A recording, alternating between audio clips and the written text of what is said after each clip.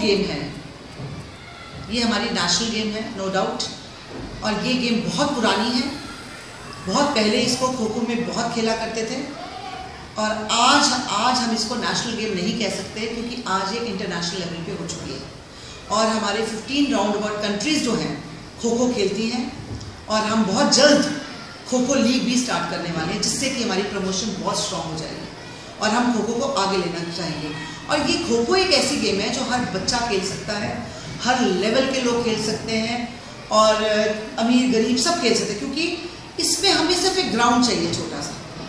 और कुछ बच्चे चाहिए जिसमें हमें ये नहीं चाहिए कि बहुत महँगी गेम है, ऐसा तो है नहीं। और ना इसमें हमारी आप ये देखते हैं ना, जैसे कि और भी गेम्स है जिसमें हमें बहुत पैसे खर्च करने पड़ते हैं। बहुत महँगी गेम कहते हैं। ये हर पब्लिक स्कूल भी इसको कर सकता है। गवर्नमेंट स्कूल भी कर सकता है, इंटरनेशनल स्कूल भी कर सकता है। और क्यों? क्योंकि ये गेम हमारी इंटरनेशनल लेवल पे आ चुकी है तो हमें सब इंडिया, क्योंकि इंडिया की पहली गेम है। पहली गेम समझिए, जैसे हॉकी है, खो खो है तो ये गेम को हमें ज़्यादा उठाना चाहिए। क्योंकि बाहर की कंट्रीज़ अपनी गेम को इतना उठाती हैं तो हमारा एज ए इंडियन हमारा फ़र्ज़ बनता है। बींग अ स्पोर्ट्स पर्सन हम लोग का फ़र्ज़ बनता है कि हम अपने नेशनल गेम्स को ऊपर करें और उनको आगे करें और अपने इंटरनेशनल लेवल पे लेकर आए ताकि बाहर की कंट्रीज़ जब हम बाहर की कंट्रीज़ की गेम्स अपने इंडिया में इंट्रोड्यूस कर सकते हैं तो क्यों नहीं हमारी खो की फेडरेशन अपनी गेम को बाहर की कंट्रीज़ में लेकर जाए और जल्द ही एक अच्छी गेम तैयार करें।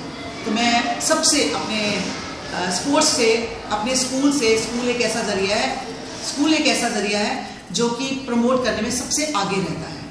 और मैं हर एक को फेडरेशन को भी ओलंपिक्स को भी, सभी को अपने स्कूल में जो हमारी फेडरेशन में अपनी खो खो के मैचेस बहुत सालों से करवा रही हूँ और मैं आगे भी करवाती रहूँगी, मैं आप लोग को हमेशा वेलकम करूँगी कि मेरे स्कूल में जब भी खो खो की फेडरेशन का कोई भी मैच हो, चाहे वो सीबीएसई हो, चाहे डी हो, चाहे फेडरेशन के हों या ओलंपिक्स हों ऑलवेज वेलकम